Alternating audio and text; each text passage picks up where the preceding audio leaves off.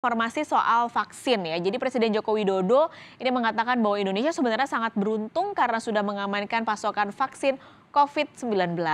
Hal ini disampaikan Presiden Jokowi dalam sambutannya pada acara International Conference on uh, Tackling the COVID-19 Pandemic yang diselenggarakan oleh Ikatan Alumni Universitas Pajajaran.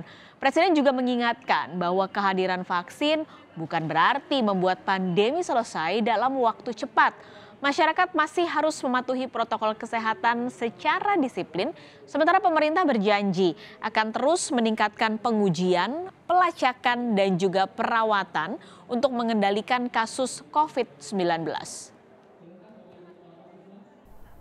Negara-negara di dunia berpacu untuk mengamankan vaksin bagi kebutuhan rakyatnya.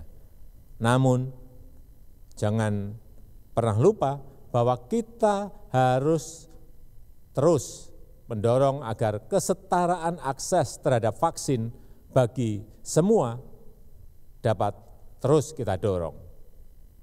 Indonesia termasuk salah satu negara yang beruntung. Kita ini beruntung.